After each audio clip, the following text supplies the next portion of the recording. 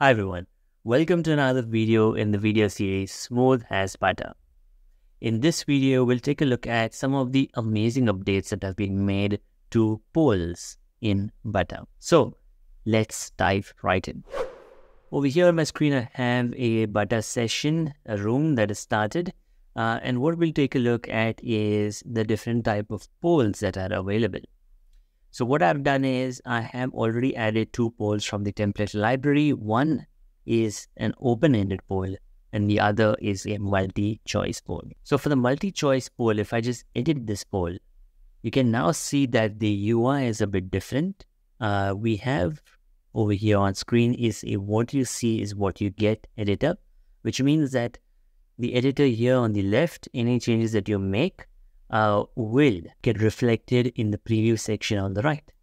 Uh, and so if I just do, if I just make some edits, for example, uh, there you go, the edits have been reflected. With a poll, you can optionally set a, a minute sort of timer to it. You can have a poll question, or you can have multiple options uh, that will be visible to the user. Um, and you can also make these answers anonymous, or maybe you might want to see who answered this uh, poll. Now, the user would have to just go in and click uh, the options, what are the option uh, to submit their answer to this poll. You can also let the user select multiple answers and you can decide how many answers can be selected. You can also check this box to make this a quiz board, which means one of these options one or more would be the right answer. Now, what I can do is I can start now. And so as you can see, this has started the poll. And what I can do is as, um, as an attendee of the session, I can select one of these as my answer to this poll. Uh, and then once everybody's answered, you can end and show results.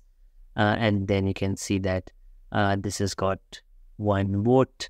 Uh, more people can add their polls votes as well uh, and it will also show which is the most popular option from the poll. The other poll that we can have a look at is the open-ended poll.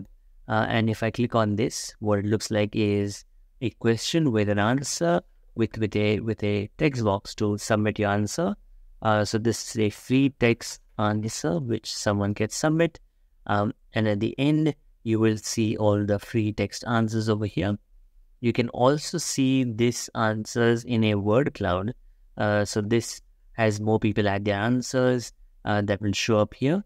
Uh, and of course, you can also filter out the filler words, uh, which is uh, just uh, different words of your answer. Now to edit an open-ended poll, you would again click on three dots and then click on edit poll.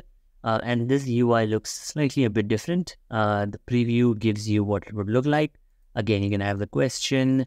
Uh, you might want to make this a word cloud. Uh, you can also allow voting for these ones. So people can just add a thumbs up for these votes. So after adding uh, your free text answer, at the end, you can also vote for these answers. So that is a pretty cool feature over here. Uh, and of course, you can also allow multiple answers to be added. And then once you're satisfied, just click on save uh, and then just go to your toolbox to start the poll. So that those are the updates to polls. Uh, this po adding polls adds a little bit of interactivity to your sessions. So do consider using it. Uh, as a quick recap, there are multiple choice questions or you can have an open-ended poll. Uh, so do have a look in both of them. That was it for this video. Let me know your thoughts in the comments down below.